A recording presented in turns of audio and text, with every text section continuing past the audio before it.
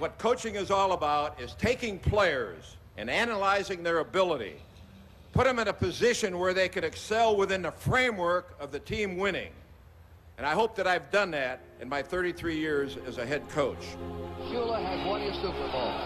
The Miami Dolphins have defeated the Washington Redskins 14 and Washington 7. Don, back in September of 83, Esquire ran a profile story of you and talked about your relentless film watching, your love of preparation.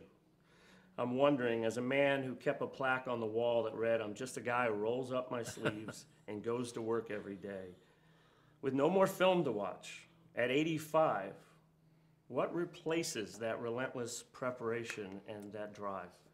I'm telling you, I'm living life like I should have then. and uh, recapturing it was some of the great moments that I've had. If there's a word I think that people think of when they think of Don Shula first, it might be longevity. 33 seasons with the Colts and the Dolphins.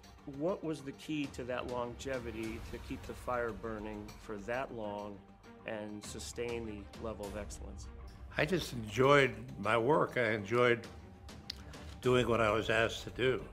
You know, the relationship with the players, the assistant coaches, the fans, you know, everything that uh, was thrown into the mix. I, I didn't, uh, I didn't regret getting up in the morning and going to work. I looked forward to it.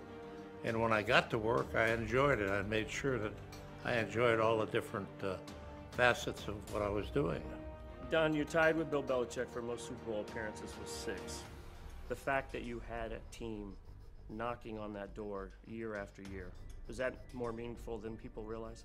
I think it was very meaningful to me because that's why you're in the business, the coaching business. You want to take your team to the big game, and you want to not only take them there, you want to win the big game. And uh, I did that a couple of times, but there were other times I was there and we didn't win, and that makes you, you know, want to win that much more the next time.